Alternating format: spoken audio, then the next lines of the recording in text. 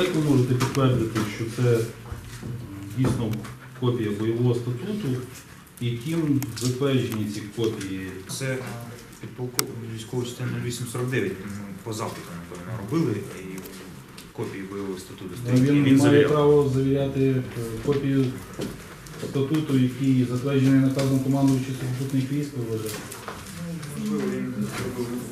Завірив для нас. Це загальнодоступна інформація. А де вона міститься, ця загально доступна Бойовий інформація? статут? Так. Де Ну де? дістатися, де завгодно. Перепрошую? Де завгодно можна дістати ці Ну вивчення. де? Ну, офіційне джерело походження цього статуту звідки? Це бойовий статут. е, Він офіційно не оприлюднювався. Ну, так, Ну, він в військових зареєстрований. частинах є він. Так, він в кожній військовій частині є. Просто коли ми вже були в Запоріжжі і нас почали виначувати, я підійшов до майора з його з просьбою надати мені бойову обстановку ну, устав, щоб я був ознайомлений, ну, що мене цього. Він мені З чим з чим ознайомлений? ну, з тим, що мене обвиня- обвиняють. Так. Там, бойова обстановка і так далі. пішло. Так. От. Він відповів, що до доступу цих за- законів уставу мають тільки офіцери там вищого рангу. Тобто простий солдат доступу до нього немає. Так само срочну службу в 96-му проходив. Ми устав в очі не бачили. На ваше розпорядження не надсилаю витяг з бойового статуту СВЗС, частина перша. Частина перша на двох аркушах. А тут у нас взагалі ваша честь е, підписано іншою особою.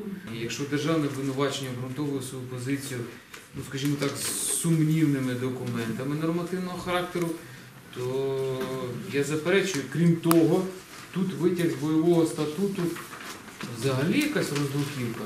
Прокурор, потрібно буде, скажімо так, суду представити, дійсно, щоб воно було якось можливо прошито, значить, печатка, от, завірено, змінами без змін, бо тут ще четвертий рік зміни, а на 14-й рік, чи були зміни, чи не були, невідомо.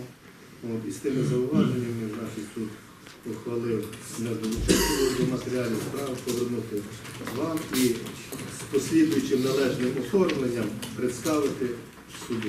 Ваша честь, дозвольте запитання до головія Ігоря. Скажіть, будь ласка, яким чином відбувалося також е, ваше обстеження в військовому шпиталі 3009 міста Запоріжжя і чому там не було виявлено ознак вашої контузії і е, підстав для направлення на МСЕК для отримання інвалідності? Під час того, як ми попали вже військову е, 55-ту бригаду, е, нами абсолютно не цікавилися лікарі, а нами в першу чергу цікавилася прокуратура.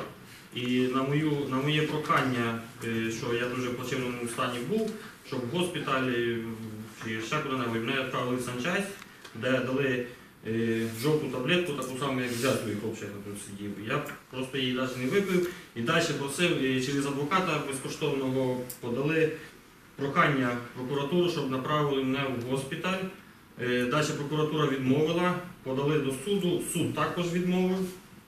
От, потім я ну, вже реально просто недобре було. От, мене направили в госпіталь, я пройшов невропатолога. От, і вона сказала, тебе терміново треба ложити. Написали направлення на Одесу, частина не відпустила. Написали направлення на Днепропетровськ, не відпустила на Харків, не відпустила Чернігів, не відпустила Луцьк, не відпустила.